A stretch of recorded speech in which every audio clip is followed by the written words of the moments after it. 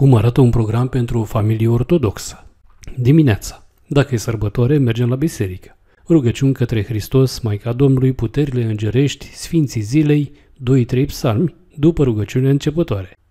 Rugăciune pentru micul dejun. Se face Sfânta Cruce peste bucate.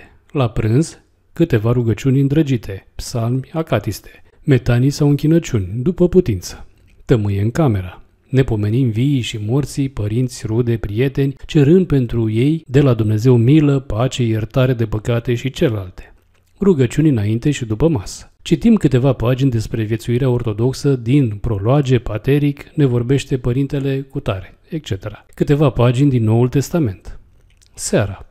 Câteva rugăciuni, metanii și închinăciuni, scurtă citire, rugăciuni la masă, tămâiem icoanele și camera. Ne miruim fruntea, gura, urechile și mâinile.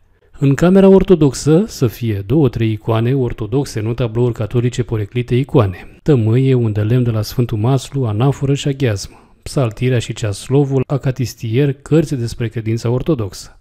Nu postere, adică afișe, imprimeuri cu animale, roboți, extraterestri, etc. Nu imagini cu vedete muzicale, cineaste sau pornografice. Nu bibelouri, aceștia sunt mici idoli sau ceasuri cu imagini religioase.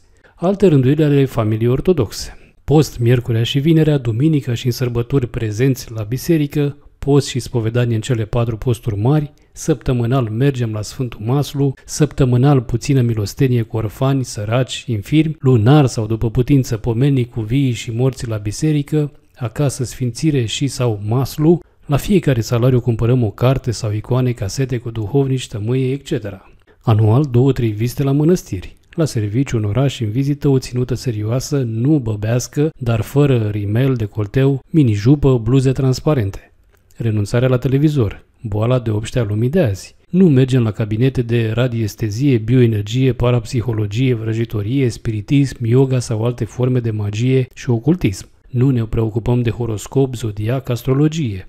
Nu participăm la distracții în posturi. Nu cununăm oameni nebotezați. Dacă avem copii, ne rugăm împreună cu ei dimineața la prânz și seara. Îi învățăm să facă zilnic crucea, metanii și închinăciuni, post miercurea și vinerea. Duminica și în sărbători îi luăm la biserică. Zilnic dimineața le dăm anaforă și aghiazm. Îi învățăm să se spovedească, îi luăm cu noi la duhovnic cel puțin în cele patru posturi. Le citim zilnic din Evanghelie, din viețile sfinților și din alte cărți ortodoxe. După șapte-opt ani le hotărâm să citească singuri. Îi învățăm să aprindă candela și să tămâieze. Îi învățăm să dea de mici milostenie la omul sărac. Îi învluăm în vizită la mănăstiri. La fiecare salariu le facem un cadou ortodox.